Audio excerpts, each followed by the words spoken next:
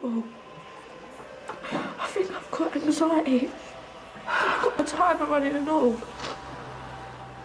56 minutes to the bailiffs.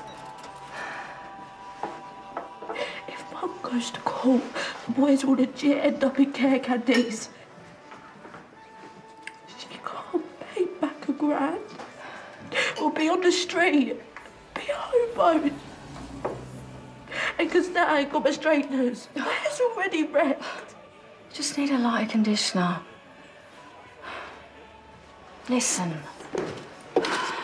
You're the daughter, darling, not the mother. She ain't that lucky, Auntie Candy.